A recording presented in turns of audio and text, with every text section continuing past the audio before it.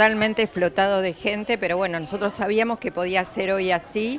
La gente está como muy ansiosa por ver todo lo que hay y por aprovechar lo, que en otros lugares no se puede comprar. Así que bueno, básicamente han venido a buscar guardapolvos y, mochilas, eh, ropa para los chicos y zapatillas también. Fue un aluvión de gente, nos contaron que desde la una y media ya estaban haciendo filas y que había como tres cuadras. Pero bueno, tratamos de que entren todos porque se ponen ansiosos, que les parece que no van a encontrar nada.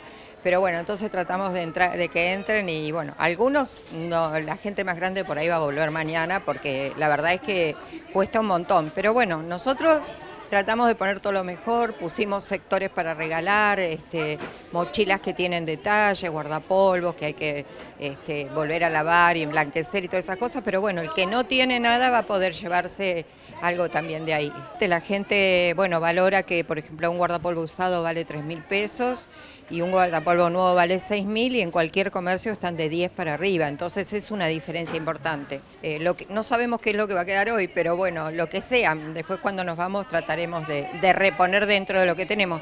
Vamos a estar los miércoles y los jueves, como siempre, de 3 a 6 de la tarde y los sábados desde las 10 de la mañana hasta las 17. Nosotros este año, más allá de todas las donaciones que siempre ya estamos con redes que han venido a, a conectarnos, es decir, por ejemplo, el área de salud mental, el Centro Integral de la Mujer, ya estamos haciendo donaciones a esos lugares de acuerdo a las necesidades, pero nosotros como este año nos propusimos un, desafío como equipo, que es eh, ayudar a educar en la solidaridad.